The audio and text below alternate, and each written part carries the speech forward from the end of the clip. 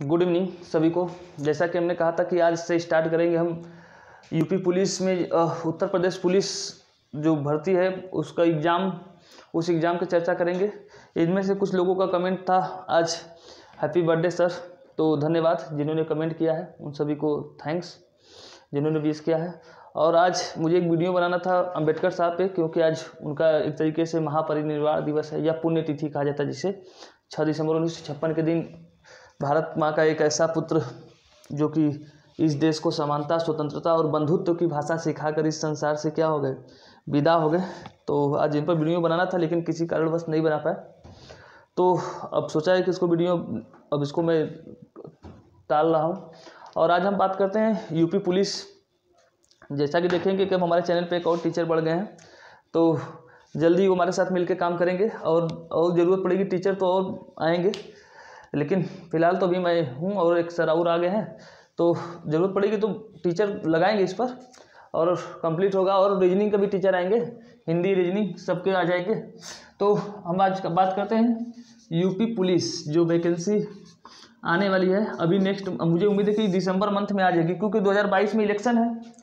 तो हमारे यहाँ की जानते हो सरकार, हमारे यहाँ की जो सरकार है, ये किस पर फोकस करेगी? इसी बात पर फोकस करेगी कि अभी जो इलेक्शन आने वाला है तो उसमें दिखानी होगी ना कि देखिए भाई हमने इतनी वैकेंसी निकाली है, इतनी भर्ती निकाली है।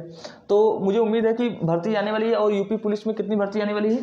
वैकेंसी लगभग पच्चीस हज़ार पाँच सौ के आसपास वैकेंसी आने वाली है ये कांस्टेबल पदों के लिए। तो कांस्टेबल पदों के लिए आने वाली है ये पच्चीस हज़ार पाँच सौ। और मैं इसके सिलेबस पर बात कर लेता हूँ। और बहुत से लोग सोच रहे होंगे कि जब वैकेंसी आ जाएगी फार्म भर जाएगी, तब हम तैयारी करेंगे। तो देखना, जो लोग, क्योंकि मैं असफल व्यक्ति हूँ, मैं बहुत बार विफल हुआ हूँ एग्ज़ाम में तो मुझे पता है कि किस प्रकार से मतलब किस तरीके से व्यक्ति विफल होते हैं। तो सफल, सफलता क्या होती है या कोई व्यक्ति विफल कब होता है, वो तो वही व्यक्ति बता सकता है जो बहुत बार क्या हो, विफल हुआ हो। जैसे कि मैं तो बहुत बार विफल हुआ हूँ तो मुझे इसका बहुत अच्छे से इसका एहसास है कि कोई कोई व्यक्ति क्यों विफल होता है? तो देखिए, जब दुनिया सो रही हो किसी तैयारी करने के लिए, जब दुनिया सो रही हो और ऐसे समय में अगर आप उठकर मेहनत करते हैं तो समझ लीजिए कि आप अपने टारगेट की ओर बहुत आगे तेज़ी से बढ़ रहे हैं। अभी पुलिस के लिए जो पुलिस की तैयारी आने, भर्ती आने वाली है, अभी दुनिया इसके लिए शांत है। उत्तर प्रदेश के सभी छात्र क्या हैं? शांत है। ऐसे समय में अगर आप टाइम से जाग गए और आप टाइम से जागने के साथ साथ तैयारी शुरू कर देते हैं तो निश्चित मानिए, मेरा बात मानिए कि आप बिल्कुल सफल होंगे। तो अभी जो भर्ती आ रही है, पच्चीस हज़ार पाँच सौ, मैं उस पर बात कर रहा हूँ, पुलिस भर्ती। इसमें होगा क्या? ये जो एग्ज़ाम होगी, जानते हैं कि यूपी पुलिस का जो एग्ज़ाम होता है ये एग्ज़ाम, टोटल कितने क्वेश्चन होते हैं? टोटल इसमें क्वेश्चन होते हैं 150 क्वेश्चन। कितने होते हैं? 150 क्वेश्चन और कितने घंटे का समय रहता है? तो दो हावर्स का समय रहता है। ये जो 150 क्वेश्चन होता है, ये 150 क्वेश्चन में कैसे कैसे कैसे क्वेश्चन पूछता मैं वो बात कर रहा हूँ। तो 150 क्वेश्चन में होता है अड़तीस क्वेश्चन किससे होंगे? हिंदी से। किससे होगा? हिंदी से। अड़तीस क्वेश्चन। अड़तीस क्वेश्चन किससे होगा? रीजनिंग से। किससे होगा? रीजनिंग से। और अड़तीस क्वेश्चन मैथ से होगा। मैथ एकदम सिंपल सा कक्षा आठ तक का मैथ पूछता है। इससे ऊपर का नहीं होता है। हाँ उसमें से कुछ मेंसुरेशन जो होते हैं, वो दो चार क्वेश्चन छोड़ने के लिए आते हैं कि आप छोड़िए, आगे बढ़िए, उसमें फंसीए मत। और जो एक और बचा तो हिंदी, रीजनिंग, मैथ, और एक बनता है, जीके या जीएस। तो ये क्वेश्चन रहते हैं करीब सैंतीस या अड़तीस। तो मैथ इसमें सैंतीस होता है। मैथ करीब सैंतीस क्वेश्चन पूछेगा और जीके जीएस पूछेगा। ये करीब अड़तीस क्वेश्चन अड़तीस क्वेश्चन पूछेगा ये। कितने क्वेश्चन अड़तीस क्वेश्चन और अब मैं इसका कट ऑफ़ भी बता दे रहा हूँ कि लगभग इतना रहेगा।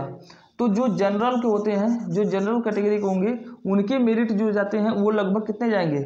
सौ से एक सौ पाँच क्वेश्चन जो ओबीसी को होंगे, जो ओबीसी ओबीसी के जो होंगे, वो नब्बे से पंचानवे नब्बे से पंचानवे और जो एससी होंगे एस कास्ट के लोग, इनका मेरिट जाएगा करीब अस्सी से पचासी, अस्सी से पचासी। और जो एस होंगे, इनका तो जाता है सत्तर से पचहत्तर, सत्तर से पचहत्तर। तो ये टारगेट आपको अगर पास करना है, मैंने बताया, जनरल का कितना जाएगा? सौ से एक सौ पाँच। यानी पंचानवे से सौ भी मान लो। और ओबीसी का मैंने कहा नब्बे से पंचानवे एस का अस्सी से पचासी। तो इस तरीके से मैंने ये बता दिया ताकि आप अपनी तैयारी को इस हिसाब से रखिए। और मैंने कहा, इसके लिए एक निदा फाजिल साहब की एक बहुत बढ़िया शायर है और मैं बार बार इनकी शायरियों को कहता हूँ। निदा फाजिल साहब एक गाय शायर बाइस थे तो उन्होंने कहा था कि सफ़र में धूप तो होगी, जो चल सको तो चलो। सफ़र में धूप तो होगी, जो चल सको तो चलो, और भी है भीड़ में, तुम भी निकल सको तो चलो। और भी है भीड़ में, तुम भी सब निकल सको तो चलो। किसी के वास्ते राहें कहाँ बदलती हैं? किसी के वास्ते राहें कहाँ बदलती है? मुझे गिरा के तुम निकल सको तो चलो। मतलब ये कहने का तात्पर्य है कि भीड़ में तो और भी लोग हैं। अगर आप निकल सको तो चलो इस भीड़ में। तो मतलब ये फार्म आने वाली है। अगर आप समय से अगर तैयारी में चलते हैं तो इस भीड़ में आपको निकलना है आगे तो समय से लग जाइए। और मैं कल से इस पर जीके का तैयारी शुरू कर दूँगा, जो जीएस मैंने कहा देखिए, अगर आप रेशियो बना के चलते हैं, अड़तीस हिंदी के आएँगे, अगर इनमें से अपने रेशियो बना के चला है, करीब चौ, तैंतीस, चौंतीस क्वेश्चन, क्योंकि हिंदी हो सकता है मैं ही पढ़ाऊँ तो हिंदी अगर मैं पढ़ाता हूँ तो भी रेशियो ठीक ठाक रहेगा। और रीजनिंग ये भी आपको इसी पे कंप्लीट कराया जाएगा और मैथ ये चार के चारों विषय आपको इसी पे कंप्लीट कराया जाएगा।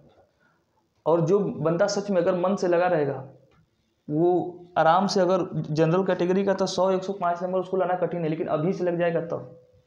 और जो ओबीसी का है, वो नब्बे से पंचानवे लाना कोनो कठिन नहीं है। लेकिन मन से लगना होगा, क्योंकि माइनस मार्किंग रहेगी। हर एक क्वेश्चन कितने नंबर के होंगे? दो नंबर के होंगे। हर एक क्वेश्चन कितने नंबर के? दो नंबर का। एक चौथाई माइनस मार्किंग रहेगा। एक चौथाई का मतलब हुआ कि अगर आप चार क्वेश्चन गलत करेंगे तो आपका एक सवाल क्या होगा? सही वाला काट लिया जाएगा। मतलब कि टोटल डेढ़ सौ क्वेश्चन तो हर एक दो सौ दो नंबर का तो कुल टोटल तीन सौ नंबर का ये क्या होगा? पेपर होगा। कुल टोटल तीन सौ नंबर का। तो इनमें से क्वेश्चन मैंने बताया तो उसी का दुगुना कर लो कि नब्बे से पंचानवे मतलब एक सौ अस्सी अस्सी के आसपास ओबीसी का मेरिट बनेगा। दो, एक सौ नब्बे से दो सौ के बीच में जनरल कैटेगरी का मेरिट बनता है। उसी हिसाब से जोड़ लीजिएगा। बस, आज तो इतना ही समझाना था कि कल से हम इसके स्टार्ट करेंगे। तो सबसे पहले हम जीके की स्टार्ट करेंगे जीएस क्योंकि सबसे लंबा चैप्टर यही पड़ता है और सबसे कठिन भी यही याद करना।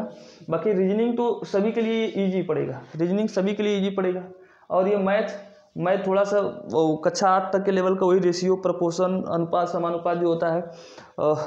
प्रॉफिट एंड लॉस तो वही रहता है। तो इसमें ज़्यादा ज़्यादा टफ वाली बात नहीं है। और हिंदी, ये तो वही विलोम, शब्द विलोम पर्यावाची ये सब जो होता है, वो याद करना है।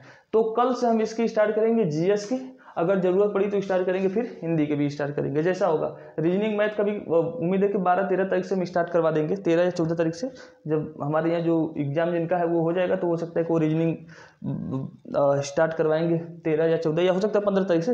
लेकिन लग जाइए अभी से। अभी से एकदम मूड बना लीजिए कि नहीं, हमको इस बार यूपी पुलिस निकालना है। क्योंकि जानते हो यूपी पुलिस निकालने के बाद तो दहेज भी बढ़ ही जाता है सभी का।